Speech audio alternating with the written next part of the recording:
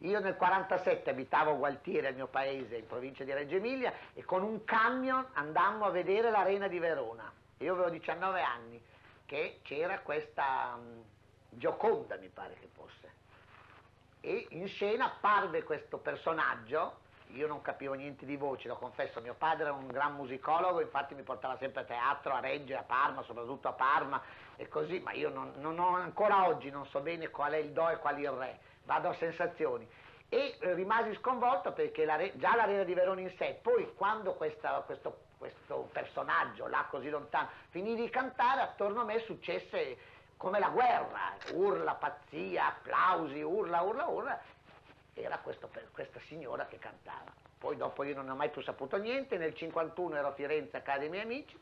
e dei miei amici dissero, sai che c'è questa grande cantante, questa Calla che fa la traviata, è una cosa... E lì veramente mi incominciai a innamorare di lei perché per la prima volta in teatro piansi, mi sconvolsi, mi sentii male, lei allora era cento e tanti chili, aveva un ventaglio terribile in mano, quello mi ricordo, ma era sublime.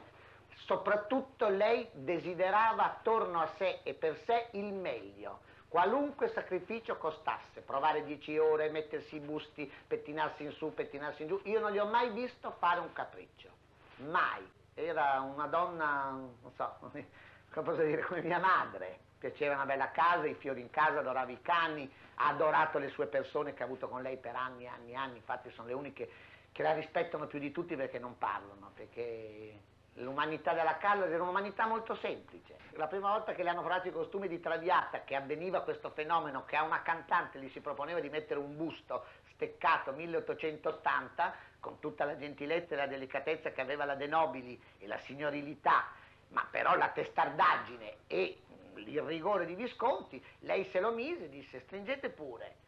tutti eravamo così, eh, stringete pure, un momento è che io prendo i fiati, lei prendeva i fiati dalla parte diciamo centrale, disse ecco qui appena un momento, la vita la potete stringere quando vuole, va bene, mettiamo il vestito più scollato più accollato, i guanti più lunghi più corti e quello è finito. È stato un genio di come ha voluto essere seppellita, perché lei va in giro per il mare dell'Egeo e sente che la Callas è lì dentro,